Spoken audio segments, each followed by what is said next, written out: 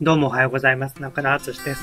それでは2本目の動画を撮りたいと思います。2本目は昨日のロト6について話したいと思います。昨日の当選数字をさっき見てんけど、やっぱりちょっと数字が離れてる。だから、うまく予想できたとしても、今のところ3つが限界かな。まだ見てたら数字がやっぱり簡単な数字ではないから、うん、まだ3つが限界。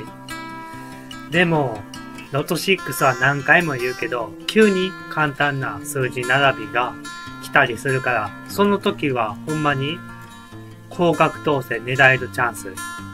それまで粘り強く予想して継続して買っていきたいと思います。今日はロト6の予想はせえへんねんけど、今日はロト7、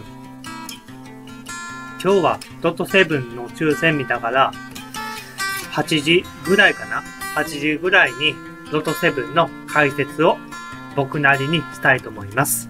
よかったらチャンネル登録お願いします。ご視聴いただきありがとうございました。